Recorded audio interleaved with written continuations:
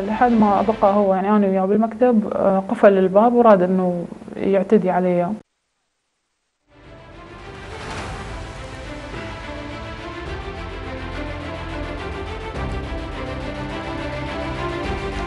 آه، فرق كبير بين الرجولة والذكورة فهناك من يحاول إثبات وجوده من خلال آه، ذكورته لكن اللي نشوفه اليوم يعني البعض في مكان العمل ربما يتعرض إلى الناس العاملين وياه إن كان هو مدير أو لا.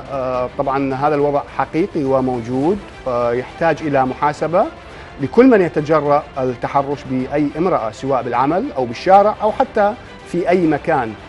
نتمنى أن يكون الضمير هو الرقيب يعني مو شرط تكون القوة آه، قوة القانون آه، هي الرقيب دائما. يعني أي تصرف آه، خارج عن المألوف وخارج عن الأخلاق في مكان العمل هو يحتاج إلى ردع. لذلك اليوم عندنا قصة من الموصل لشابة يعني تعرضت عدة مرات إلى يعني التحرش بها في أماكن العمل.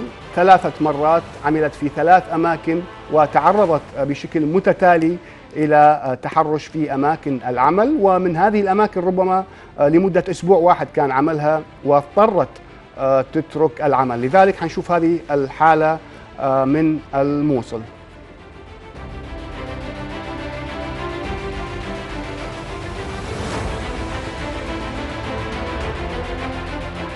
طبعا بالبداية آه، أنا المعيلة الوحيدة للعائلة. فاضطريت أنه أعمل أنه في سبيل توفير لقمة العيش للعائلة ولأولادي.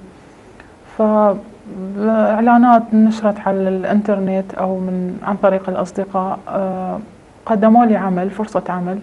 آه، حبيت أنه أروح رحت للمقابلة وبالفعل تم قبولي والمدير وافق على أنه أعمل بهاي بهاي الشركة.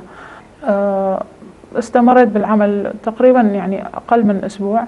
آخر أيام بينت أنه هو النوايا بينت انكشف يعني أكثر أنه من خلال كلامه من خلال تصرفاته يعني حاول أنه يلمس أجزاء من جسدي فمن هاي الشغلة صارت أنه قررت خلاص إنه أترك العمل وما أتنازل يعني مهما يكون الظرف. طبعا دخلت بحال نفسي واكتئاب يعني فوق الظرف اللي أنا بيه أتعرض لهاي الأمور ومحتاجة اني للمادة. آه بعدين ورا فترة قلت ما يخالف خلي أقدم الغير عمل يعني آه بالفعل هم دورت على شغل لقيت شغل ثاني. هذا الشغل كان آه يعني عن طريق الإنترنت أيضا. آه، قدمت على الوظيفة وهم مقابلة صارت ووافق المدير على أنه توظف. فظليت أنه استمريت بالعمل آه، لحد ما بيوم من الأيام المدير يعني هاي بعد ما أيضا أنه كان يحاول يلمسني ويسمعني كلام آه، طلب أنه أبقى لنهاية الدوام وأنه عندنا شغل وكذا. فأني عرفت نوايا شنو. طلب أنه يوصلني أكثر من مرة بس ما كنت يعني أقبل. آه، المرة الأخيرة قال لي إنه أبقي لنهاية الدوام وموظفين طلعوا فأنا ما ما بقيت يعني. شلت الغراض وطلعت وما رجعت للعمل. العمل الآخر كان عن طريق يعني أقربائي وكذا فقالوا إنه هذا يعني رجل كبير وكذا إنه يعني راح ترتاحين وياه بالشغل. فقلت أوكي خلي يعني أشتغل بهذا أحسن من الشباب. أحسن من الشباب. انه رجال كبير ممكن إنه يشوفني بقد بنته وكذا يعني ما ما ممكن إنه ممكن يصير نفس اللي صار قبل.